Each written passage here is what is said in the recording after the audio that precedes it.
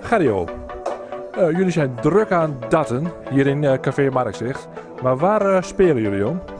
Ja, dit is het clubkampioenschap van, van dartvereniging Markzicht. Eh bestaande uit vier teams. En ja, daar gaat het vandaag om ons, om de, de, de eer en jezelf de beste darter van, van Markzicht te mogen noemen, een jaar lang. Jullie datvereniging, uit hoeveel leden bestaat die? Eh nou, ik me heel snel, eh, denk ik, volgens mij 28, als ik zo even heel gauw uit mijn hoofd zeg. We zijn verdeeld over, eh, over vier teams, waarvan drie teams in de derde divisie uitkomen en één team in de tweede divisie inmiddels. Dus ja, er zit, er zit groei in. Er zit groei in. Vandaag draait het dus om het, de kampioen van Markzicht. Dat klopt, ja. En op het moment de regerend en verdedigend kampioen Patrick Lunenborg. Eh, die heeft nou twee jaar op rij gewonnen. Dus eh, ja, we gaan, eh, iedereen gaat er dit jaar voor, denk ik, vol voor om, om hem van de, van de hat af te houden.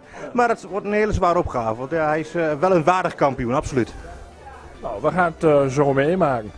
Dat, eh, dat zeker, ja. We zijn nu nog vol in de groepsfases bezig. En daarna komt de knock-out fase. En dan, eh dan zullen we kijken hoe het, hoe het loopt. We gaan de finalisten eh, hier binnenhalen. Als eerste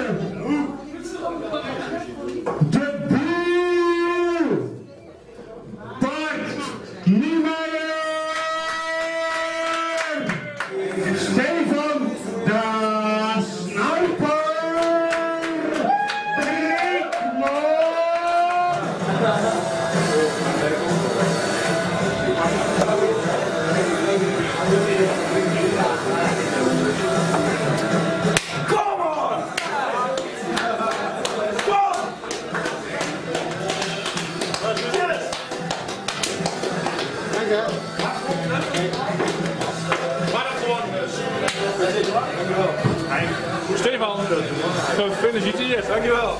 Hoppa.